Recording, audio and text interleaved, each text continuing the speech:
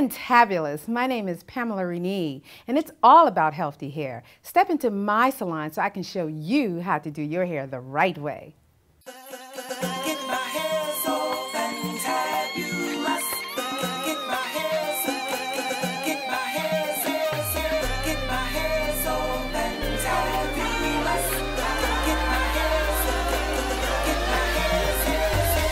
I'm going to show you how to shampoo, style, and maintain your hair weave for a fantabulous look.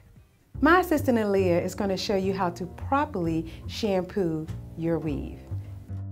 She starts out with completely combing the hair to remove it of all tangles. As she shampoos the hair, she will run her fingers through it. She will not be massaging the hair. Massaging causes tangles and mats.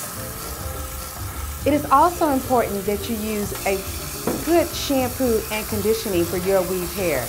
Keep in mind that this is dead hair.